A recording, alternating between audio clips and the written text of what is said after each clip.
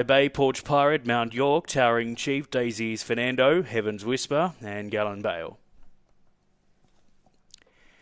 The green light's on now. The bunny's up to the boxes, and they're set to jump. This is race four. Set Racing, Porch Pirate was nicely away out wide. Daisy's Fernando went with it, and Galen Bowles chiming in three deep, followed by Red Fire Bay with Mount York, Towering Chief, Udilla Bale, and Heaven's Whisper. Top corner, the favourite Porch Pirate now leads away by two lengths from Daisy's Fernando. Galen Bale, they turn. It's Porch Pirate two in front. Nothing's going to pick it up. Porch Pirate wins. Second home, either Daisy's Fernando or Galen Bale. They went over the line locked together, and followed by Mount York, Udilla Bale with Red Fire Bay. Last two in Heaven's Whisper and Towering Chief, and the race time was 20 and 70. Favourites home, number three, Porch Pirate wins. Number three, the winner, was close for second between the eight and the six, so photo finish for the Miners. Six does grab second, Daisy's Fernando, so that leaves uh, Galen Bale for third. And the race time was 20 and 72, 20 72. Nice slick run and one grabs fourth. So those interim placings now confirmed. Three, six, eight, one. Interim results three, six, eight, one.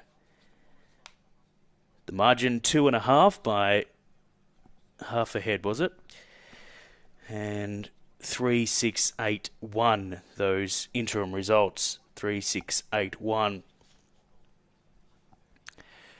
20 and 72 the race time. So the winner, number three, Porch Pirate, owned and trained by Penny Hutchinson, is a white and Brindle dog by Fernando Bale at a star boost. Whelped in September of 2020. Start number 44. Win number eight tonight. Second to number six, Daisy's Fernando for Lee Bowman. Third to number eight, Galen Bale for Simon Rhodes. And fourth to number one, Udilla Bale, also prepared by Simon Rhodes. Three, six, eight, one.